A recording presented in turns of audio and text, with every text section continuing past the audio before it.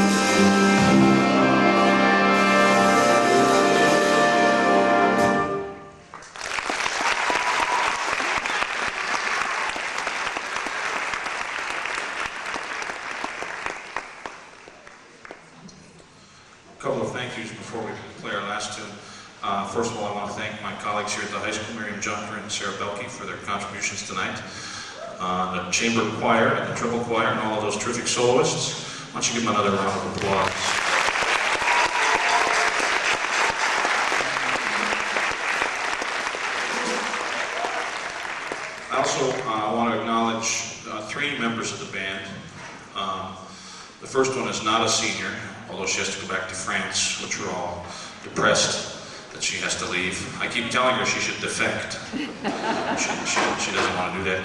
Um, when I, school started, let, let me back up a little further. Band directors are a little bit like the football coach, always wondering who's going to be the quarterback and who's going to play this position and that, except it's, you know, who's going to play lead trumpet and who's going to play drums and who's going to play piano. And a lot of those pieces were in place, and I knew that the band was going to sound terrific, but I just did not know who was going to play bass, and it was keeping me up at night because I'm a bass player. And if a bass player's band doesn't have a very good bass player, it reflects on the director. So I was very concerned about that. And I kept getting these sort of cryptic messages in broken English about some exchange student that wanted to play in the jazz band. And I'd heard what a terrific flute player she was. And I thought, well, I'll, you know, I'll do what I can with that. And we had these phone messages and this and that. And, and finally we, we met up and, no, I don't want to play flute, she said. I want to play bass. And I was, what? and so, of course, she played bass in the musical and she played bass in the in the big band, and about halfway through the year, I asked her if she'd ever played acoustic bass, but she played the first beginning so a little bit. She said, "I don't have one." Well, I gave it to her, and she plays that just as well as everything else she does. So we're certainly going to miss her. She she's had a great time too, I think, playing with us. If she'll hold her bass up, she was having it autographed by the band before the concert tonight, so she can take it back home to remember uh, these great kids that she's had to work with, and what a thrill it's been for us to have her in our group, Mathilde Leloup on the bass.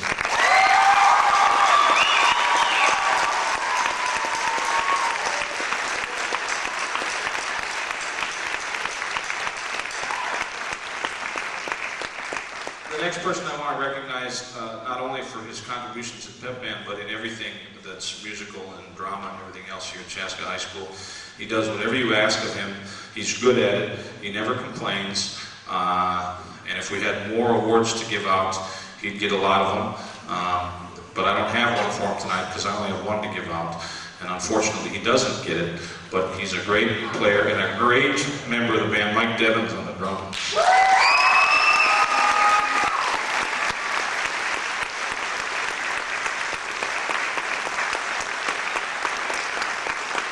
And finally, um, traditionally we've had our jazz festival in May, and that's when we've awarded the Louis Armstrong Jazz Award, or announced it. Anyway, it gets awarded at the senior awards banquet. I'm afraid there's not much drama. Uh, Elliott Blaufuss will be the winner of the Louis Armstrong Jazz Award.